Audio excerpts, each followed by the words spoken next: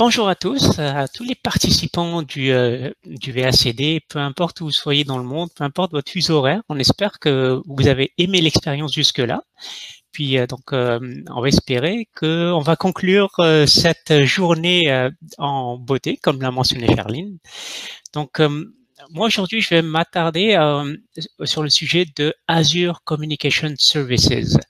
Pour ceux qui ne le savent pas, c'est un nouveau service qui a été créé par Microsoft qui, permet justement d'intégrer des fonctionnalités de type euh, appel audio, appel vidéo, euh, euh, SMS, etc. On va voir tout ce que nous permet de faire ce service-là ensemble aujourd'hui. Donc, un petit mot rapide sur moi. Mon nom est Tijani Belmansour. Je suis architecte de solutions cloud chez Cofomo à Québec. Vous avez notre site cofomo.com je suis aussi euh, Azure MVP, donc euh, euh, je fais partie de la communauté des MVP. Ma spécialisation est plus en Azure, c'est pour ça que mon talk aujourd'hui porte sur Azure. Je suis également le co-organisateur de la communauté Azure de Québec. Donc, vous voyez ici l'adresse de notre meetup, donc meetup.com slash AzureQC. Euh, le, depuis juste la Covid, en fait, toute la situation de la Covid, euh, on a dû déplacer nos activités en ligne. Donc, maintenant, si vous allez sur notre site, peu importe où vous êtes dans le monde, vous pourrez vous joindre à nos présentations. On, a des présentations essentiellement en français, mais euh, parfois on reçoit des, euh, des, présentateurs qui sont plus anglophones, donc on a des sessions également en anglais.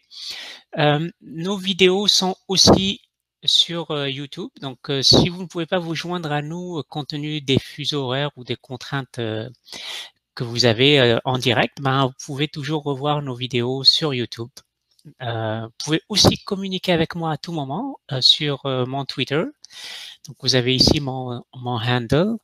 Et si vous voulez suivre mes blogs, vous avez espacenuagique.com qui est mon blog en français puis euh, dev2 slash qui est mon blog en anglais. Donc, c'est pas mal les mêmes sujets, mais j'écris dans les deux langues. OK, ben, rentrons maintenant dans le vif du sujet. Si je vous demande qu'est-ce que euh, ces différentes euh, plateformes ont en commun? On parle de Facebook, Twitter, LinkedIn, WhatsApp, Teams, en gros, tout ce qui touche les réseaux sociaux, euh, qu'est-ce qu'ils ont en commun? Ben, C'est surtout des fonctionnalités de communication. Donc, par exemple, on voit dans LinkedIn, on peut euh, chatter, on peut discuter avec une ou plusieurs personnes. Même chose pour euh, Facebook avec Messenger, on peut faire du chat. On peut faire des appels audio ou des appels vidéo avec euh, WhatsApp. Et on peut faire des conférences à plusieurs avec Teams, on peut même partager notre écran, etc. Donc c'est super ces fonctionnalités-là, mais comment est-ce qu'on pourrait les, implémenter dans nos propres applications? Donc euh, imaginez pouvoir ajouter ces fonctionnalités à vos applications, ça serait génial, n'est-ce pas? Et ce qui serait encore plus génial, c'est de ne pas avoir à mettre en place toute la mécanique euh, en backstage, donc toute la réseautique, tous les services de télécom, etc. Si on pouvait juste utiliser une librairie, puis pouvoir accéder à ces fonctionnalités-là, ça serait encore plus génial. Eh bien, c'est ce que nous permet de faire ou ce que nous promet de faire Azure Communication Services. Azure Communication Services nous offre différents services, notamment le service de euh, VoIP, donc appel euh, vidéo et audio euh, over IP. Donc, ça peut être un à un ou un à plusieurs. Et on peut également partager notre écran. On peut aussi faire du chat et même utiliser les emojis. On peut aussi faire euh, des, SMS, en fait, euh, envoyer des textos par SMS. On peut faire des appels euh, audio, donc des appels téléphoniques avec un numéro de téléphone émetteur et un numéro de téléphone destinataire. On peut aussi faire du WebRTC, donc des appels vidéo via Internet, donc via notre navigateur en l'occurrence. Et en plus, Azure Communication Services nous permet justement de faire tout ça sans avoir à gérer tous les, les, points de présence, toute les, euh, la réseautique entre les différents pays, entre les différentes localisations, etc. Et on peut même euh, authentifier ou non nos communications. Donc, on peut faire des appels, euh, on peut offrir des services de communication autant pour des applications que pour des web browsers, que ce soit sur PC, tablette, euh, mobile, IoT, etc. Mais pourquoi ACS ACS, comme on l'a mentionné, ça vient nous offrir toutes ces, euh, c'est une plateforme en fait de communication qui nous offre tout un tas de fonctionnalités de communication, comme on vient de, de, le voir.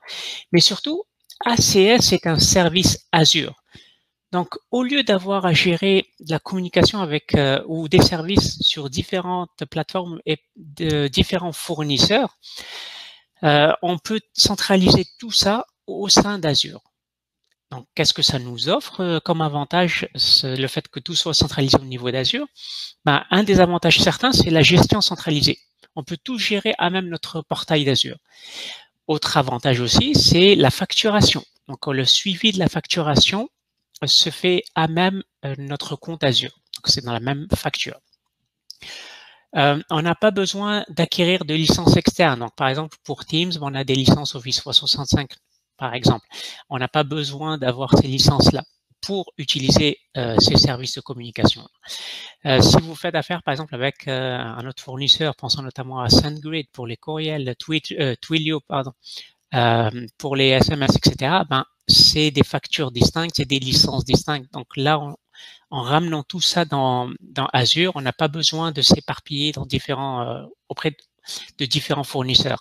Et comme on l'a mentionné, on euh, on, supporte aussi plusieurs mécanismes d'authentification, par exemple via un Azure AD, via les, euh, social login, comme on appelle euh, les Google, Facebook, Twitter, etc.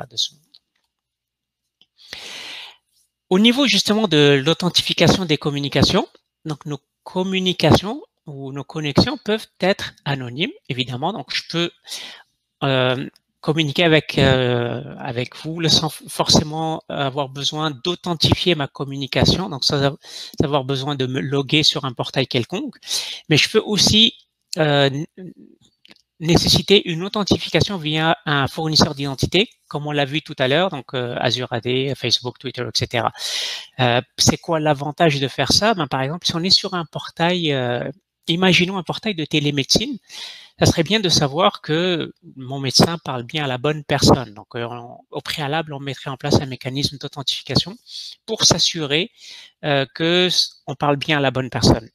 Et si on veut encore renforcer euh, plus la sécurité sur justement ces connexions-là, ben, on peut même aller jusqu'à activer le MFA, donc le Multifactor Authentication.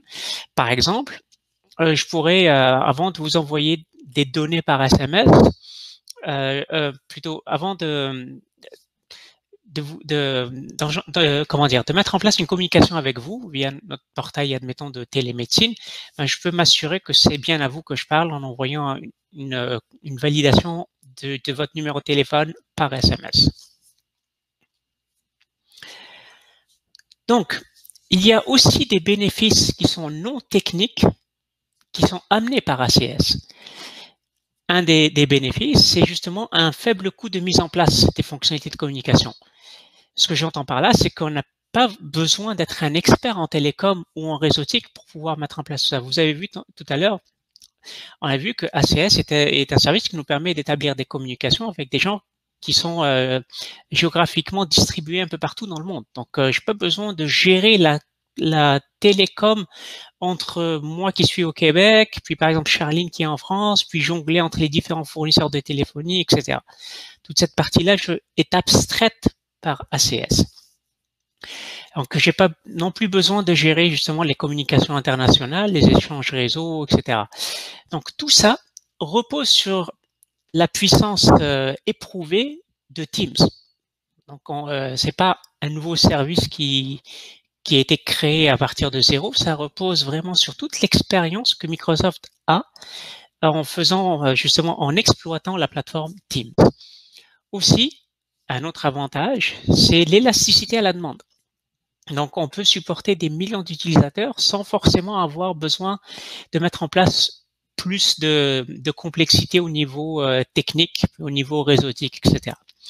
Et on a un time to market qui est rapide. Par exemple, si on veut créer le nouveau, euh, nouveau réseau social et on entrevoit que on a trouvé un secteur de niche pour un réseau social très précis, par exemple, puis on sait que on, va pouvoir euh, pénétrer le marché, mais ça nous prend de mettre en place toutes ces fonctionnalités de télécom. Si on n'a on pas des outils ou, des services comme ACS, ben ça veut dire qu'on doit gérer nous-mêmes toute cette euh, toute la gestion qu'on a vue euh, précédemment au niveau réseautique, télécom, etc. Ce qui fait que la mise en marché de notre produit va être ralenti et va être pas mal plus long que si on, repose sur des plateformes ou des solutions telles que ACS. Donc, euh, justement, ça nous permet de livrer ou de mettre en marché plus rapidement nos solutions et euh, pouvoir en faire bénéficier plus rapidement nos utilisateurs.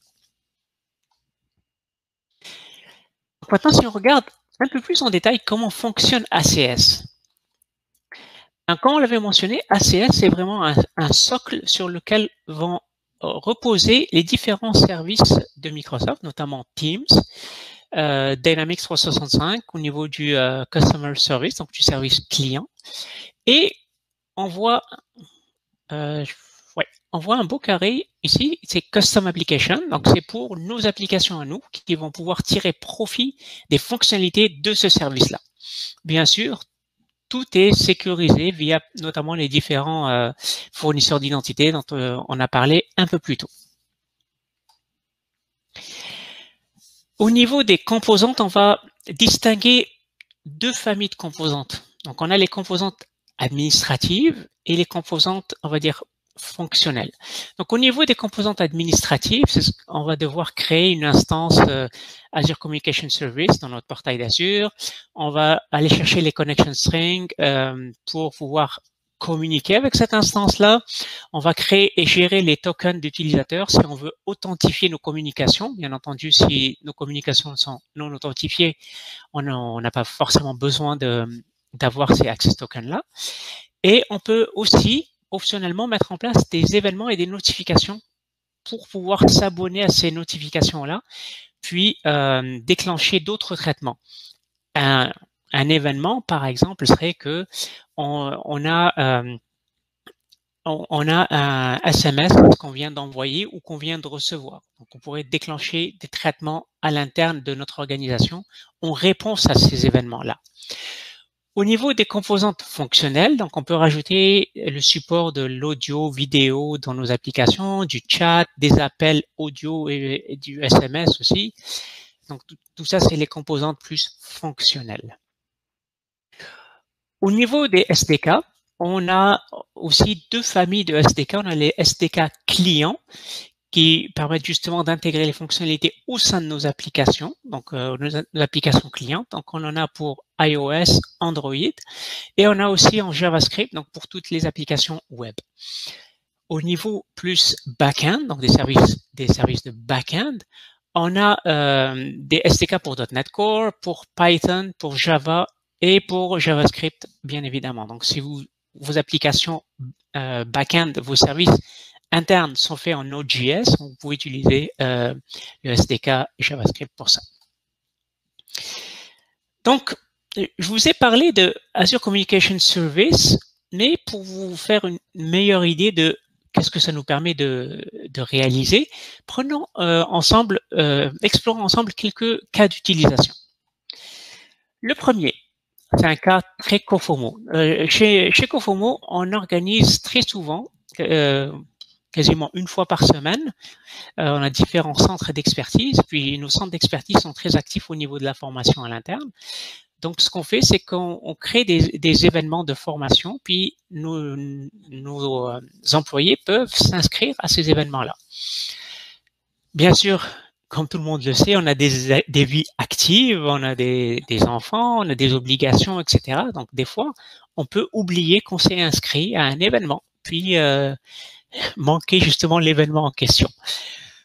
Donc, pour, euh, pour pallier à ce problème-là, on pourrait euh, tirer profit d'Azure Communication Services pour, par exemple, envoyer un SMS aux, personnes qui seraient inscrites à un événement pour leur rappeler qu'ils sont, euh, inscrits à un événement puis que l'événement commence à telle heure, par exemple. Donc, on pourrait imaginer un, portail de formation sur lequel les gens pourraient aller dire bah moi je veux être notifié par SMS par exemple deux heures avant l'événement.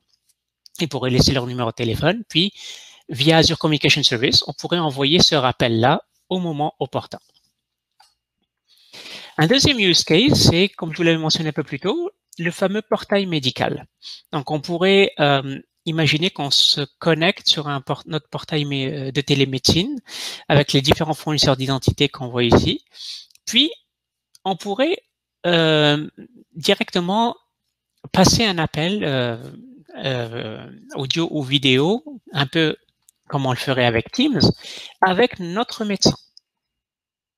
On pourrait aussi, par exemple, dire, ben, moi, je veux chatter avec mon médecin pour euh, avoir des, euh, des informations, ce qu'il a reçu mes résultats, ou euh, par exemple, j'ai un, questionnement sur mon état de santé, ben, je pourrais discuter par, par chat avec mon médecin. Et si c'est nécessaire, je pourrais quasiment, carrément en fait, depuis ma conversation, partir un appel euh, audio ou un appel vidéo avec euh, mon médecin. Un troisième use case euh, qui est, on va dire, très pertinent dans le contexte actuel que l'on vit actuellement en fait. Puis, je vois beaucoup d'entreprises qui commencent à se lancer dans ce domaine-là. C'est par exemple, les réparations euh, à faire soi-même, euh, appelons ça comme ça. En gros, euh, au lieu qu'un technicien se déplace chez vous à cause de toutes les contraintes sanitaires, si c'est des réparations qui sont minimes et qui ne nécessitent pas forcément des compétences pointues d'un technicien, ben, le technicien pourrait vous accompagner et vous guider pas à pas sur pour faire la réparation vous-même. Donc, vous voyez, on pourrait imaginer une application où on pourrait euh, faire un appel euh, audio-vidéo avec un technicien, puis ce dernier pourrait justement nous guider pas à pas euh, et pourrait voir en fait l'équipement qu'on veut réparer, admettons c'est notre frigo ou notre cuisinière ou peu importe, et il pourrait nous donner des instructions pas à pas pour nous guider dans la réparation. Bien sûr, avec tout euh, l'avènement de, la réalité virtuelle, etc., on pourrait même pousser le concept plus loin et euh, faire cet appel-là à même, par exemple, les HoloLens ou, euh, des casques de réalité virtuelle pour être en, immersion, en, immersion un peu plus totale. Et bien sûr, on peut imaginer tout un ensemble d'autres cas d'utilisation pour ça, il suffit de fermer les yeux et laisser libre cours à votre imagination. Je suis certain que vous allez trouver pas mal d'autres cas d'utilisation pour euh, ce type de service. Maintenant, comment ça marche? Donc, euh, si on reprend par exemple euh, l'exemple de notre fameuse clinique de télémédecine, on pourrait imaginer notre front-end, on veut prendre rendez-vous avec notre médecin. Donc on a, on va sur le portail, on se log, euh, on se connecte. On dit, ben moi je veux euh, prendre un rendez-vous euh, tel jour à telle heure. Donc là, on, passe une, comment dire, on, a de la disponibilité pour cette plage horaire là. Donc on confirme notre rendez-vous et là, on, appelle nos services à l'interne pour justement inscrire ce rendez-vous-là dans nos systèmes à l'interne. Et via, par exemple, Azure Communication Service, on pourrait envoyer euh, un SMS à la personne pour confirmer son rendez-vous. Être un SMS du genre, euh, euh, on vous confirme votre rendez-vous telle heure, à telle date avec tel, tel docteur, tel médecin. Par contre, cette partie-là nécessite de faire du code on va voir un petit peu plus loin à quoi ressemble le code. C'est pas non plus énormément de code, mais admettons qu'on veuille vraiment s'abstraire de, faire du code pour cette partie-là. Euh, je reviendrai sur la partie euh, comment on va s'abstraire du code. Donc ici, pour établir cette communication-là, pour pouvoir envoyer un SMS, il nous faut un numéro de téléphone. Donc, on peut aller sur euh, sur notre portail Azure, nous créer une instance de ACS et euh, acheter un numéro de téléphone. Donc, vous voyez ici dans Phone Numbers, on a acheté un numéro de téléphone qui va nous servir autant à faire des appels, donc à, faire, à émettre des appels qu'à recevoir des appels. Donc, ça, implique aussi les, les SMS. Ensuite, dans Keys, ici, on vient chercher nos connection strings. Donc, vous voyez, c'est des connection strings qui vont nous permettre justement de d'embarquer ces, ces fonctionnalités-là au sein de nos applications. Donc, notre application va appeler l'instance euh, de Azure Communication Service via cette connection string. Puis, Communication Service va euh, justement faire l'action demandée, par exemple, envoyer le SMS. Donc, à quoi ressemble le code pour envoyer un SMS Donc, on voit, ici l'exemple d'un contrôleur en ASP.NET Core MVC. Donc, euh, ce qu'on vient voir ici, donc on, crée une instance du SMS Client, qui est une classe de, euh, de la librairie de Communication Service, et on lui donne la connection string qu'on a récupérée du portail. On peut aussi aller chercher le numéro de téléphone source, donc le numéro qu'on a acheté via Azure Communication Service. Ensuite, ici, ben, ce qu'on fait, c'est qu'on dit, ben, crée-moi une, euh, un phone number, un objet phone number en te basant sur le numéro de téléphone qu'on a été cherché dans Communication Service. Et je veux que tu me crées aussi un objet phone number pour le destinataire de mon SMS, qui serait la personne qui a pris rendez-vous euh, auprès de son médecin. Et ensuite, ce qu'on fait, ben, c'est SMS client.send, auquel on passe le numéro de téléphone source, numéro de téléphone de destination et le message euh, texte qu'on veut envoyer. Donc, si vous avez déjà fait euh, envoyer un courriel via, par exemple, un SMTP client en .NET, ben, c'est assez similaire. Ça ressemble beaucoup à ce qu'on fait avec un SMTP client, par exemple. Pour que ça, ça fonctionne, il nous faut euh, des packages NuGet, bien évidemment. Donc, les packages NuGet qu'il nous faut, en fait, ça va être Azure Communication.configuration et Azure Communication.sms. Donc, ici, on, utilise les fonctionnalités de SMS. Donc, c'est .sms et il y en a d'autres pour les autres fonctionnalités. Donc, ici, ce qu'on a fait, en fait, c'est qu'on vient de, euh, de mettre en place la possibilité d'envoyer un SMS. Donc, maintenant, pour pouvoir envoyer un SMS de façon authentifiée, si on veut vraiment authentifier nos communications, on va venir ici, puis se créer un User Token Client on passe euh, comme tout à l'heure la connection string. Puis ensuite ici, on va dire, je veux avoir un token qui va me permettre d'utiliser les fonctionnalités de VoIP. Dans ce cas-ci, euh, ici, ce qu'on veut faire, c'est on veut pouvoir passer des appels audio et vidéo. Donc, on va authentifier ces appels-là. Pour le SMS, on n'a pas forcément besoin de l'authentifier, comme on l'a vu tout à l'heure, mais maintenant, pour pouvoir parler à notre médecin, on veut pouvoir euh, authentifier cet appel-là. Donc ici, au niveau de la page web, on a un conteneur, donc un div qui va être euh, le div dans lequel va s'afficher le flux vidéo. Et on a, et on a ici des contrôles, donc des boutons pour pouvoir euh, activer ou désactiver la vidéo, activer ou désactiver le micro et raccrocher, comme on l'aurait dans Teams par exemple.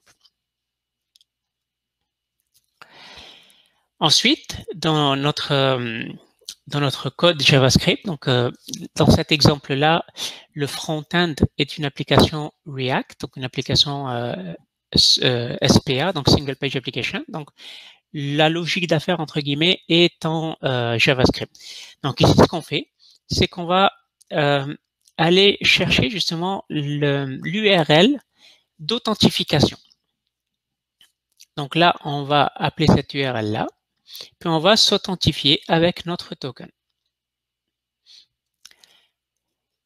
Ensuite, ce qu'on va faire, on va pouvoir mettre en place justement l'appel. Donc ici, dans la méthode start call, pour partir l'appel, euh, notre appel euh, audio-vidéo. Donc ici, on a notre call client qui va nous permettre justement d'aller choisir la caméra qu'on veut afficher. Supposons on est sur un appareil, un, télé, pardon, un téléphone, par exemple, où on a une caméra frontale et une caméra en arrière. Donc, on voudrait pouvoir choisir quelle caméra euh, activer. Donc, ça se fait ici. On peut ensuite choisir si on veut par défaut euh, démarrer l'appel en étant en, avec un micro euh, désactivé. Donc ici, on se met notre muted à false, donc ça veut dire que le micro n'est pas désactivé par défaut. Ensuite, on va chercher ici le groupe ID. Le groupe ID, concrètement, c'est quoi? C'est que, prenons Teams, par exemple. Vous avez euh, différentes conversations. Donc l'ID d'une conversation, c'est ça en fait le groupe ID. Parce que vous pouvez faire partie de plusieurs conversations, mais à un instant T, vous allez euh, euh, joindre une conversation. Donc, on va aller chercher l'ID de cette conversation qui correspond au groupe ID. Ensuite, ce qu'on va faire, c'est qu'on va dire, ben, je veux me joindre à cette conversation-là avec ces paramètres-là. Et ensuite, on va pouvoir s'abonner à des événements de la conversation.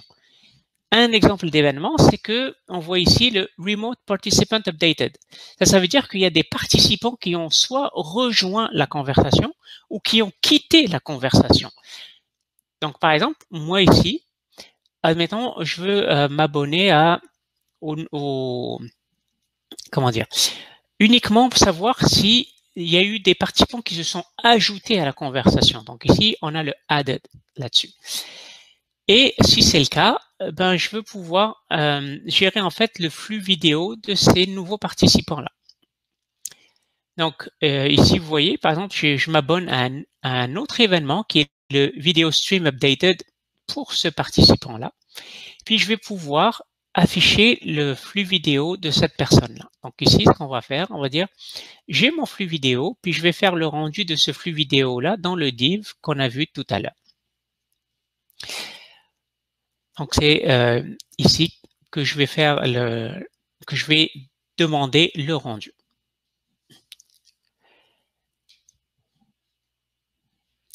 Aussi, ce que je pourrais faire, c'est décider quand euh, je mets fin à l'appel, donc euh, je raccroche, est-ce que je veux que ça raccroche pour tous les participants ou uniquement pour moi?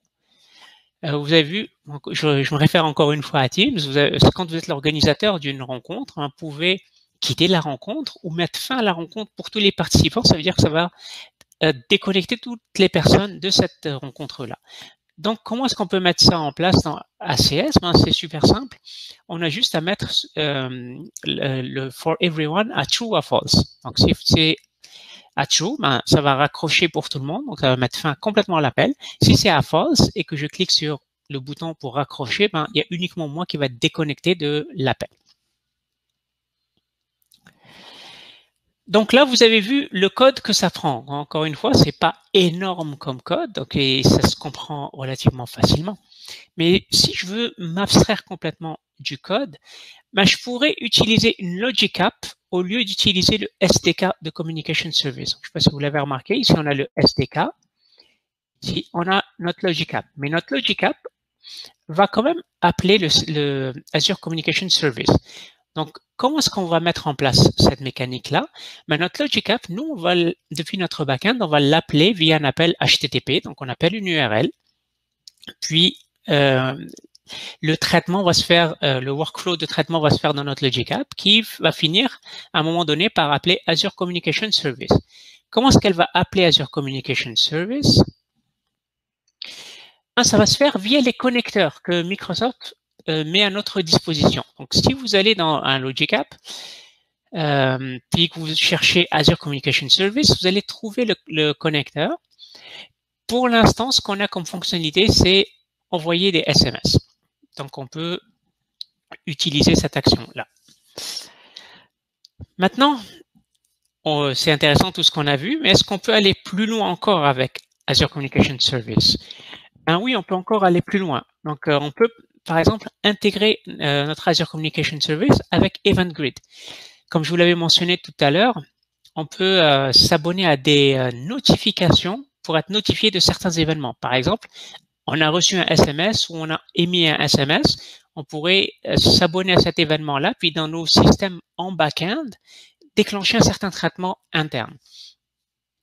Euh, donc, euh, par exemple, ici, je peux m'abonner à cet événement-là, puis dire euh, si j'ai euh, établi une communication, ben, je peux par exemple automatiquement utiliser les services Cognitive Services pour faire de la traduction en temps réel. Imaginons que je parle à quelqu'un, admettons, moi je parle pas allemand, mais je, mon interlocuteur est un Allemand qui ne parle pas français. Ben, je peux par exemple tirer profit des Azure, Azure euh, Cognitive Services pardon, pour faire de la traduction en temps réel pour que je puisse le comprendre et qu'il puisse me comprendre. Je peux aussi utiliser le Azure Bot Services pour des communications qui seraient prises en, charge par un, agent conversationnel, donc un chatbot.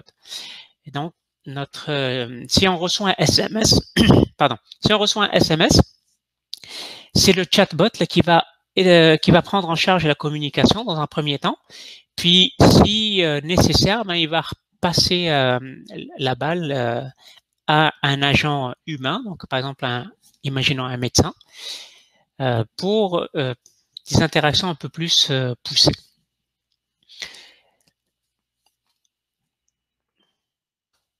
Pour ça, dans notre Azure Communication Service, on peut aller sur, dans la section Automation, on peut aller dans Events ici, puis euh, créer une nouvelle, euh, un nouvel abonnement et choisir les différents euh, types d'événements auxquels on peut s'abonner. Par exemple, je me dis, ben, moi, je veux m'abonner à l'événement SMS Receive. Donc, j'ai reçu un SMS. Donc, c'est la même mécanique qui nous permettrait, par exemple, d'utiliser les, services cognitifs pour faire de la traduction en temps réel. Donc ici, par exemple, on a un employé et un client qui chatent via euh, une web app.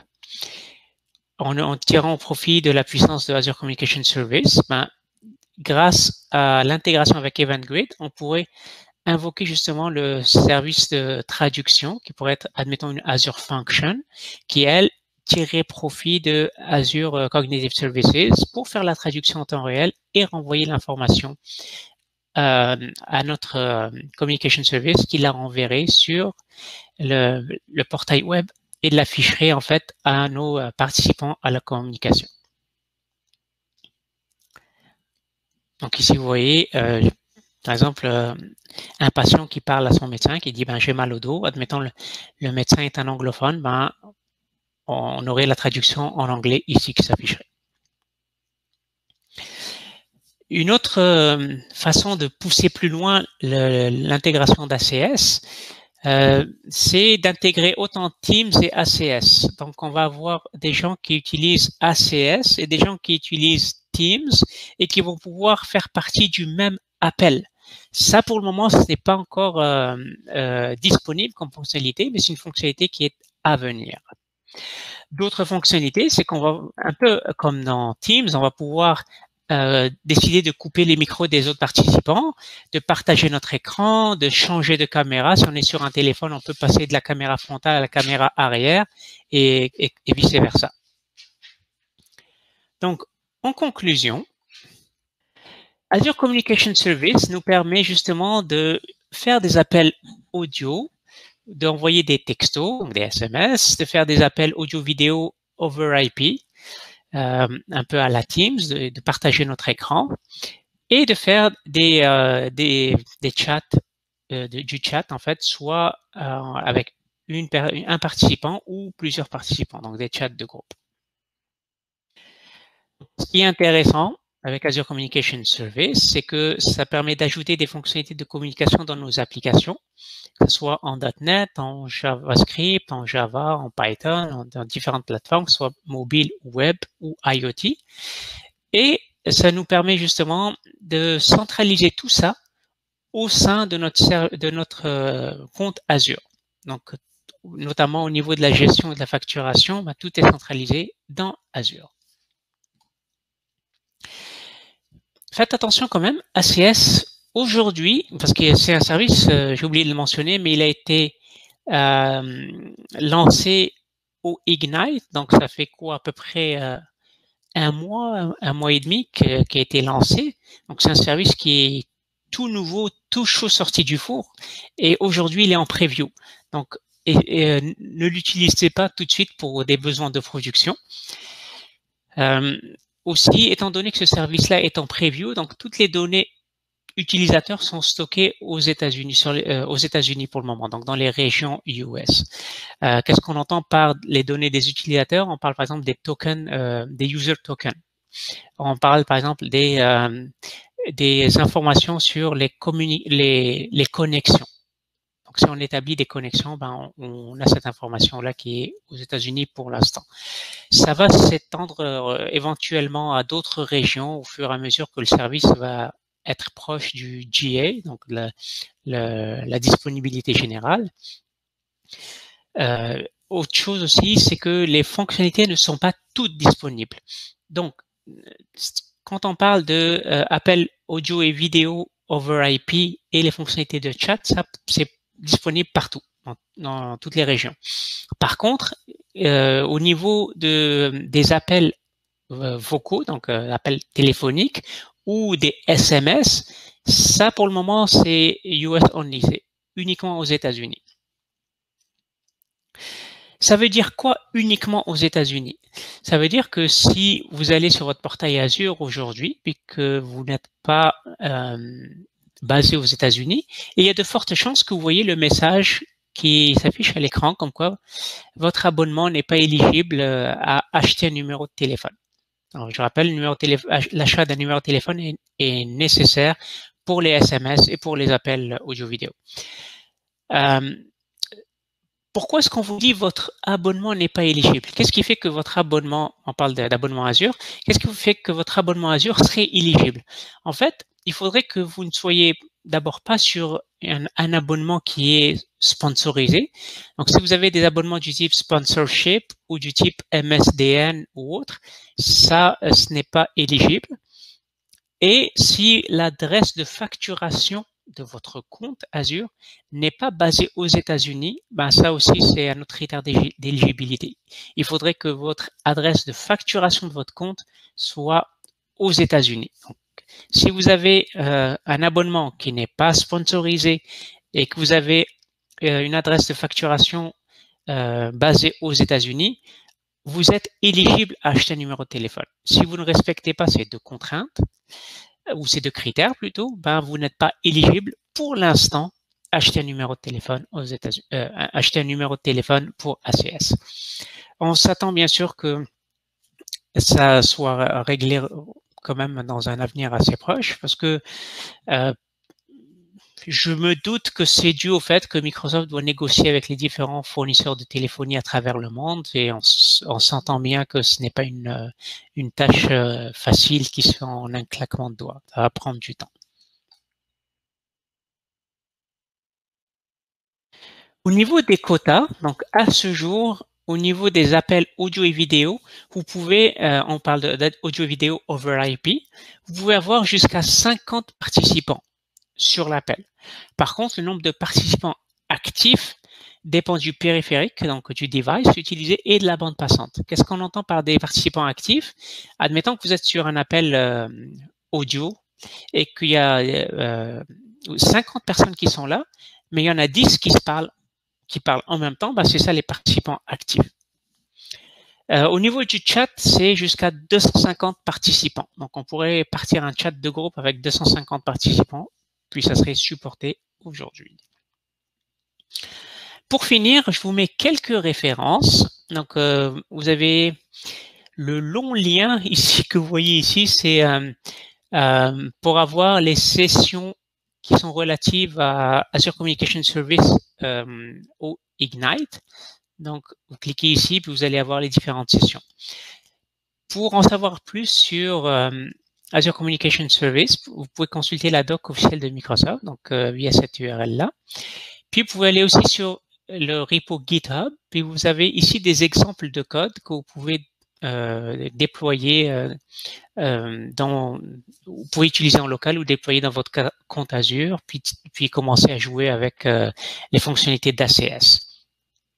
Et enfin, vous avez le portail ici d'ACS, la page ACS sur le, le site d'Azure pour être tenu au courant des dernières évolutions, puis notamment savoir si on est encore en preview ou on est rendu en GA, etc.